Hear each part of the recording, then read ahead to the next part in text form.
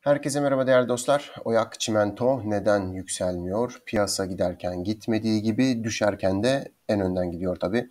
Bunun sebebini az önce diğer hissemizde Netaş'ta birazcık detaylı şekilde anlattık. E, bunu tekrar şimdi pek e, sıkıştırmayayım sizi sıkmayayım tekrar anlatmayayım. İsterseniz burada hissemize teknik analiz yapmadan önce şöyle bir takaslara bakalım.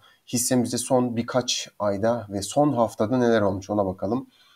Şöyle ilk baktığımız aylık mı olsun 3 aylığa bakalım.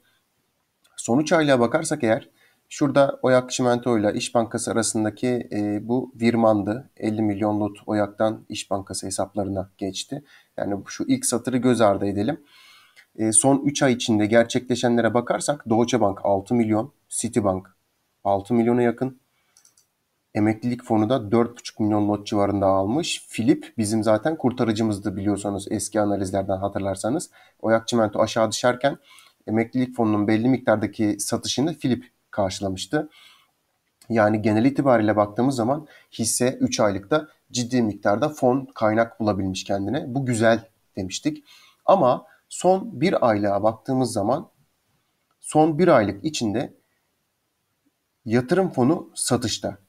Ama bu yatırım fonu zaten son haftada satış gerçekleştirdi. Yani bu aylık takas yalnız gerçekleşen işlem şu 1.4 milyonluk işlem son hafta içinde gerçekleşti. Yani emeklilik fonuyla Philip Capital aralarında paslaşmıştı bu düşüş esnasında. Bir önceki analizimizde onu detaylı göstermiştim.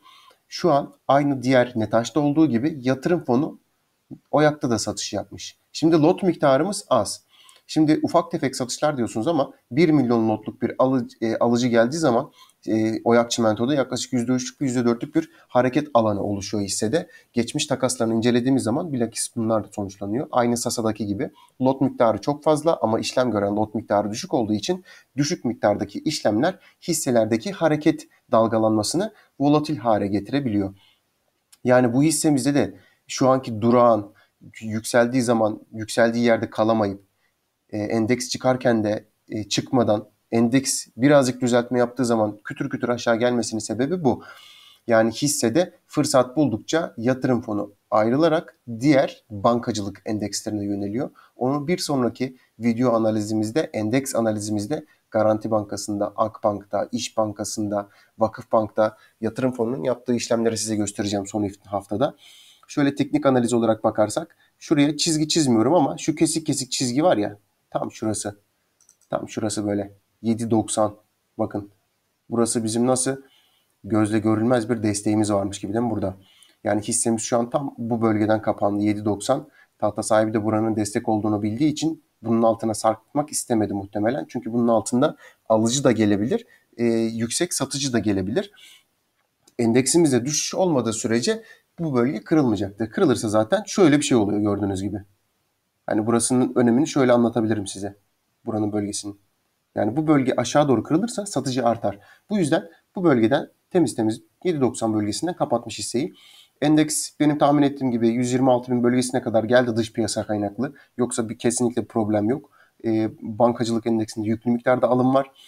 E, piyasalarda yine yan tahtalar dediğimiz oyak çimento gibi kağıtlarda sınırlı yükseliş gerçekleşme ihtimali yüksek. Yani hissemiz e, 8.20 üzerine çıkmadığı sürece bulunacağı bölge 7.90 ile 8.20.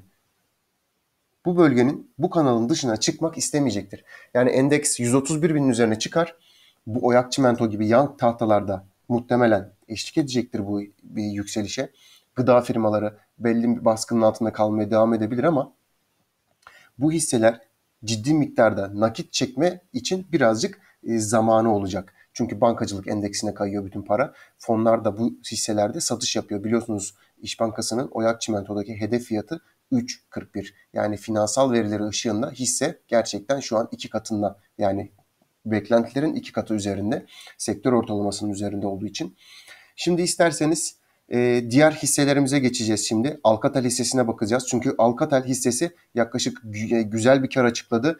Biz de e, son 4 yılın bilançolarını analiz etmiştik. Güzel bir analiz olmuştu.